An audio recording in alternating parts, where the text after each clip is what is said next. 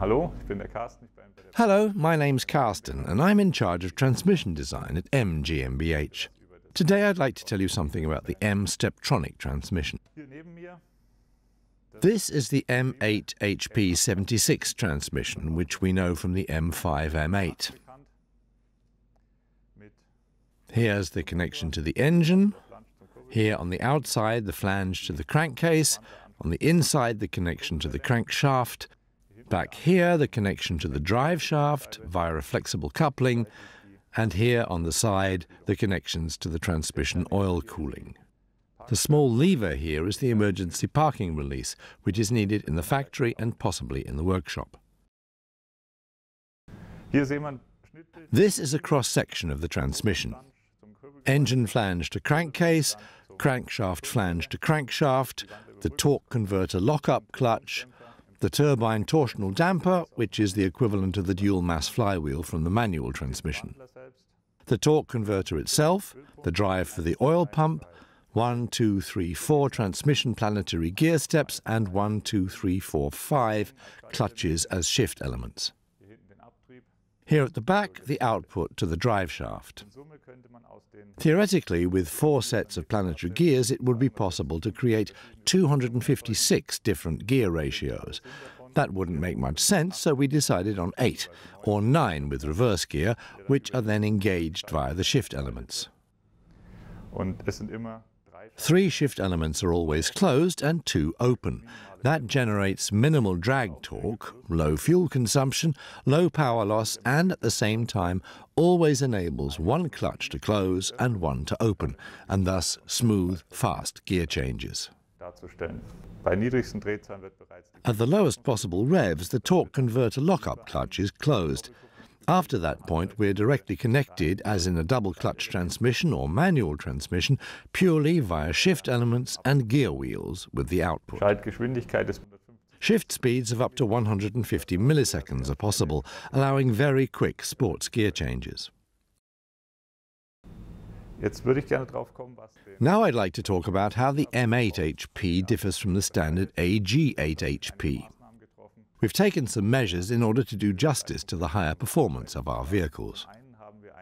First, we have a narrower spread than the standard BMW AG vehicles, namely 7.8 with very even steps, so that we can enable very gentle or very fast direct gear changes and don't get big rev jumps between the gears. That enables, on the one hand, very high performance and exact rev matching on the racetrack, and on the other, low rev touring and low noise levels in the upper gears in everyday driving. guten Geräuschkomfort.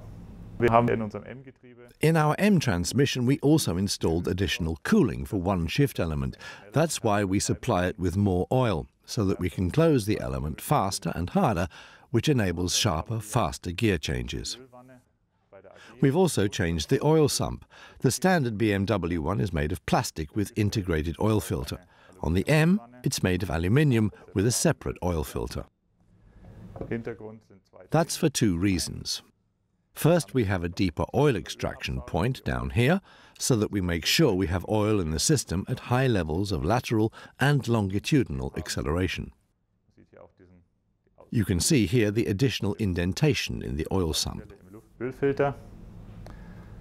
Außerdem haben wir über die We've also got additional heat dissipation via the ribbed structure on the underside. an die Umgebung.